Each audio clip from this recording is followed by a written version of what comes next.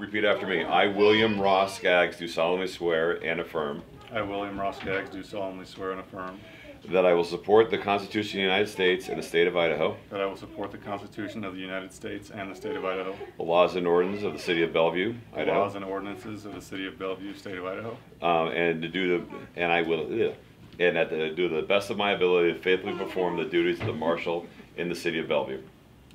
I'll start that one over. I will do my best of my abilities to faithfully perform the duties of the office of the marshal of the city of Bellevue. I Bellevue. will, to the best of my abilities, perform the duties of the marshal for the city of Bellevue.